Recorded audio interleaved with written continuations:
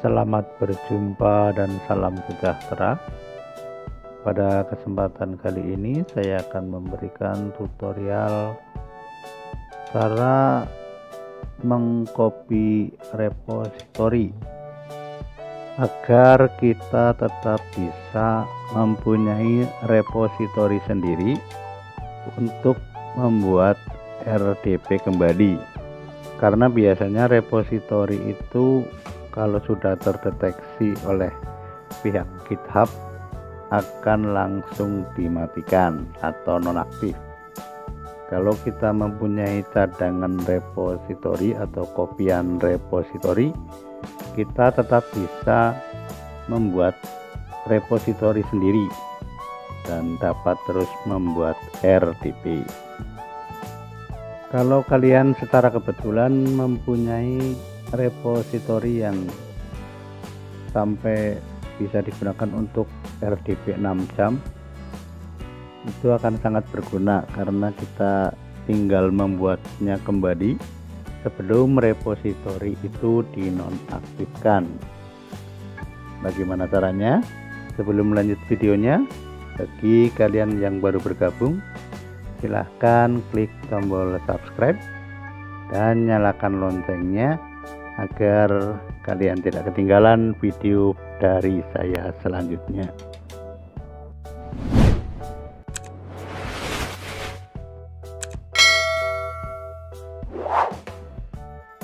Di tutorial kali ini saya anggap kalian sudah mempunyai akun GitHub dan bagi kalian yang belum mempunyai akun GitHub silahkan simak video-video saya sebelumnya karena di video-video saya sebelumnya di sana sudah ada tutorial cara mendaftarkan atau mendaftar di akun GitHub. Baik, langsung saja kita mulai tutorialnya.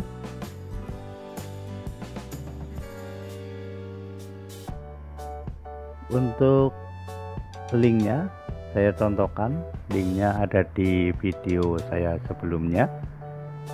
Link githubnya. Kita tinggal buka video saya sebelumnya. Klik lebih banyak. Di bawah ini ada link github.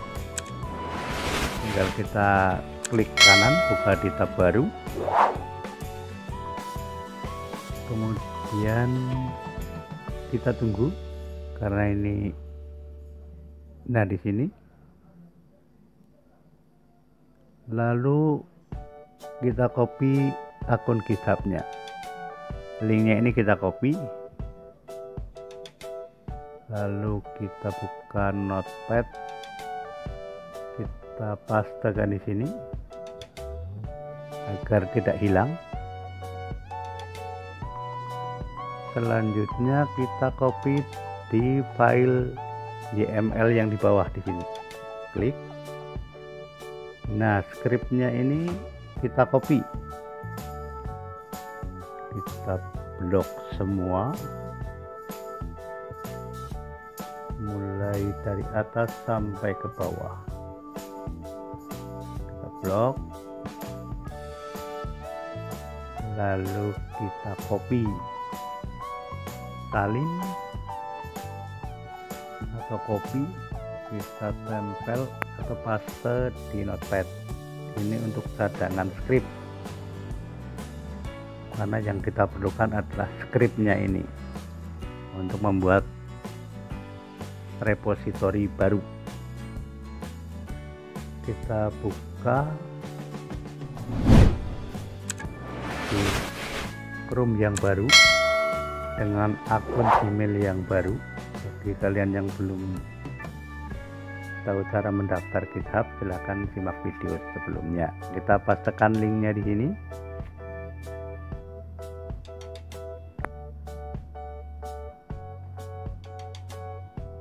Kemudian kita buka profil kita karena saya menggunakan akun baru. Kita buka profil buka di tab baru kita tunggu. Nah setelah terbuka selanjutnya klik repositoris klik new. Kita beri nama repositori kita bebas. Di sini saya beri nama subscribe. Subscribe.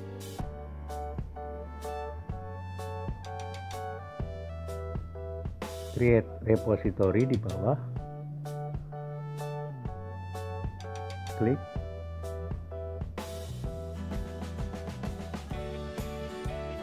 Kemudian klik action.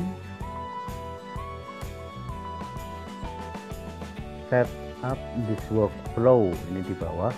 Ini di klik. Nah ini set up this workflow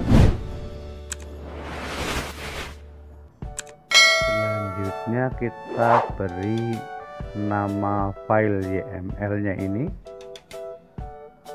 Dengan bebas namanya yang penting .yml nya tidak dihilangkan. Blanknya diganti dan subscribe misalnya. Terserah bebas. Kemudian ini klik dan kontrol A lalu delete kita masuk ke tab sebelumnya. Kita buka create YML ini. Yang di sini diklik sama seperti sebelumnya.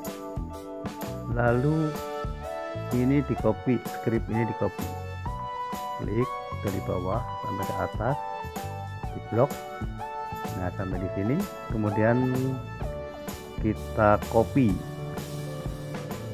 salin nah, selanjutnya kita masuk ke tab berikutnya dan kita pastekan di sini. Atau tekan Ctrl V.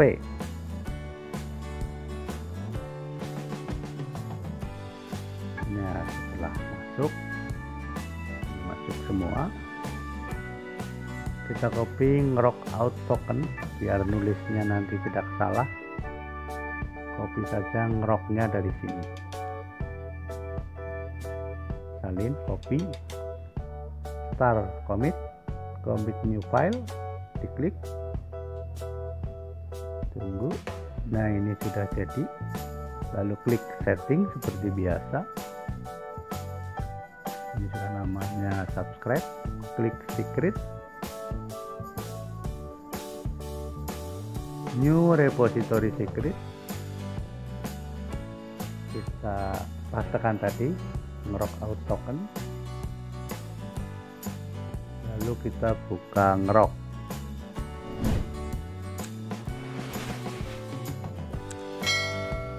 Lupa sign in di Ngrok bagi yang belum mendaftar silahkan mendaftar. Di video sebelumnya sudah ada tutorialnya. Silahkan dibuka-buka video sebelumnya. Jangan lupa login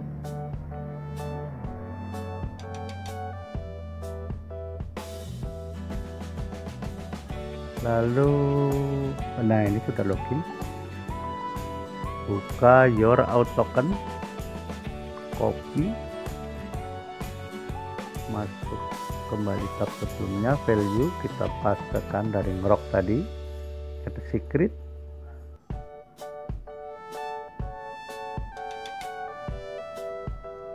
Lalu klik action Mastery TV ini diklik yang sebelah kiri. Lalu di sebelah kanan ini klik run workflow di bawah yang hijau. Klik. Selanjutnya kita buka lagi run workflow. Klik lagi run workflow yang hijau. Nah ini sudah proses. Master TV nya ini kita klik yang di sebelah sini nanti namanya bisa berbeda-beda. Lalu build klik nah kita tinggal tunggu pembuatan RTP nya kita tunggu prosesnya.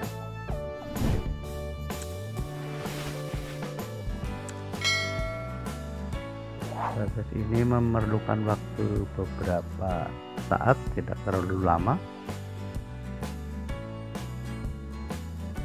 nah ini sudah successful successful tinggal nunggu pembuatan alamat IP nya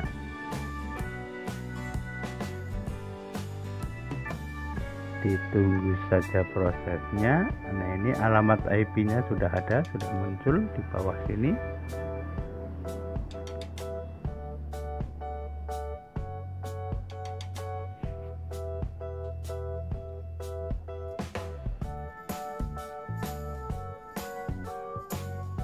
tunggu saja prosesnya sampai selesai. Kalau masih berputar-putar ini masih dalam proses. Nah connecting your R. Connecting your RTP ini sudah sudah jadi karena sudah ditentang. Klik connecting your RTP lalu copy alamat IP ini alamat IP nya ini copy klik copy. Kita buka remote desktop connection.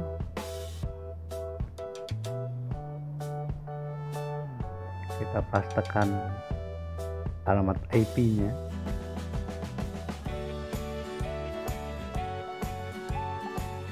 kita klik show username copy sudah kembali lagi? Nah ini username administrator di copy. Masuk lagi ke remote desktop connection. Pastekan di sini username. Lalu save dan connect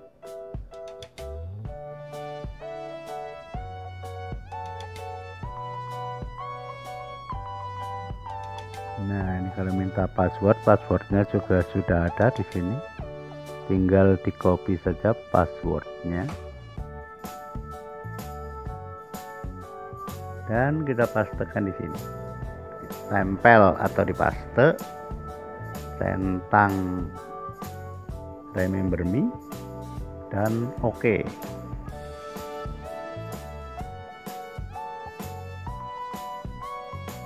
centang yang ini yes.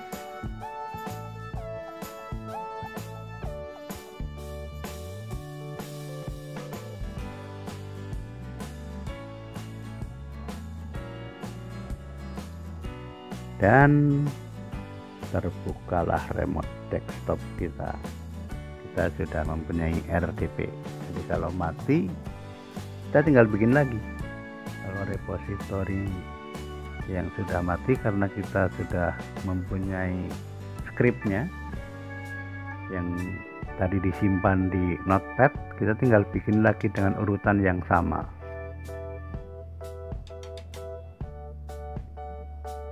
Bisa membuat RDP sebanyak-banyaknya atau repositori sebanyak-banyaknya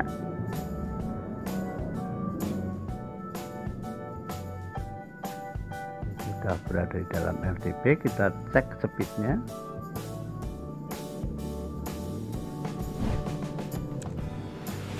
Lumayan kita cek dapat RTP gratis dan bisa dibuat berulang-ulang. Ini kebetulan kecepatannya 62,2 Mbps untuk downloadnya. Dan untuk uploadnya 259,1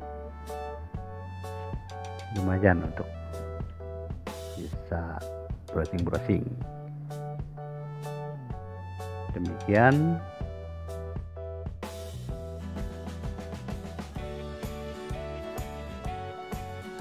Untuk selanjutnya kita cek speknya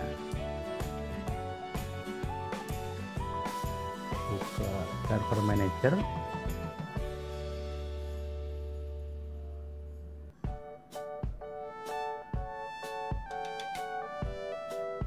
Ini kita tutup saja. Klik lokal server. Nah ini sudah terbuka. Memorinya 7 GB prosesornya Intel Xeon Platinum di space-nya 269,51 GB lumayan untuk sekedar membuka YouTube ataupun hal-hal yang lain. Untuk kejar jam tayang juga bisa. Demikian cara membuat RTP semoga tutorial kali ini bermanfaat. Terima kasih yang sudah menyaksikan. Sampai jumpa di video selanjutnya.